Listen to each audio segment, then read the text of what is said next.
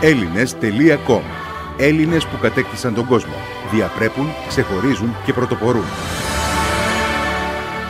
Θα μπορούσε κανείς να πει ότι ο Χριστόφορος Ασλανίδης γεννήθηκε στο Δέλτα του Εύρου. Η καταγωγή του προσφυγική, ο ίδιος πενεύεται για τις ρίζες του. Με την ξύλινη, δουλεμένη στο χέρι βάρκα του, βρίσκεται καθημερινά στον ποταμό. Το σπίτι μου, όπως λέει χαρακτηριστικά. Ζει από το ψάρεμα ενώ ξεναγεί επισκέπτε Έλληνες, αλλά κυρίως τουρίστες από την Αλοδαπή στο ποτάμι και τους μαθαίνει τα μυστικά του.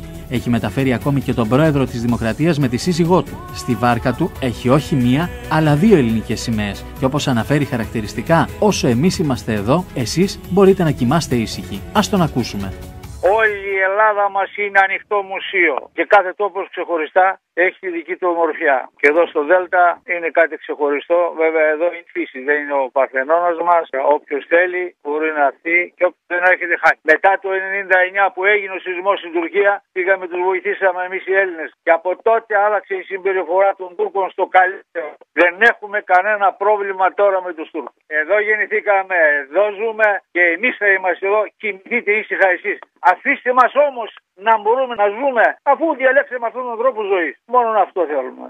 Η Ελλάδα μας τι είναι για μας, η ανάσα μας, η ζωή μας. Αλλήμονο σε αυτού που δεν τους αγγίζει τι θα η Ελλάδα. Τόσο ευλογημένος τόπος.